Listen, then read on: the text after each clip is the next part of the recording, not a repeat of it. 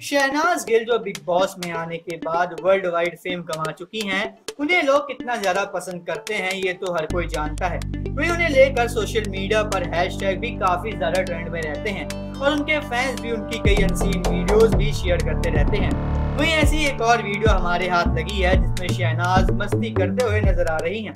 शहनाज कितनी मस्ती करती है, ये तो हम सब जानते हैं।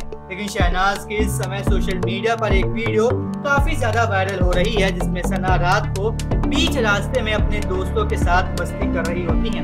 इस वीडियो में शहनाज के साथ उनके गिटारिस्ट फ्रेंड होता है और सना गुलाबी आँखें गाना गाती हुई नज़र आ रही है। इस वीडियो में हम ये भी देखते हैं कि कैसे सना अपने दोस्तों को भी मस्ती करने के लिए बुलाती हैं, कि वो भी उनके साथ आए और मस्ती करें। वही हम आपको बता दें कि शहनाज के पिता के यू पर यौन शोषण का जो इल्ज़ाम लगा था, वो कल पूरी तरह से हट चुका है और वो रिहा हो चुके हैं। इसी तरह की अपडेट सबसे पहले पाने के लिए हमारे चैनल को सब्सक्राइब करना बिल्कुल ना भूलें, ताकि आपसे मिस ना हो हमारा कोई भी लेटेस्ट अपडेट।